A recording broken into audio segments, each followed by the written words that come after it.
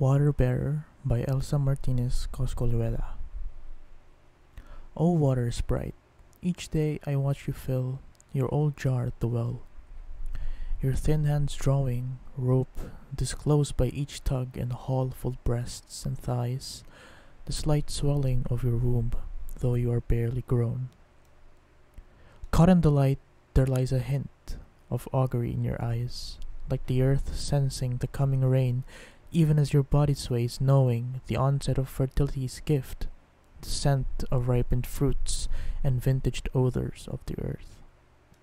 Your warm hands cup the jar, singing in codes carved from ancient rites and cults, voicing what your own lips lock in silence, concealed deep in your tongue, filling the hollows of your soul with secret knowing.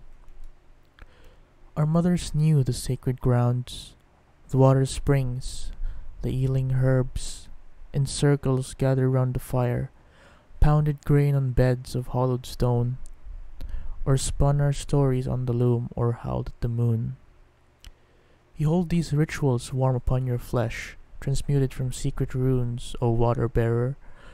I watch your silent ritual at our ancient well, and lock you in my eyes lest I forget all that our mothers wished for us to know with inner knowing.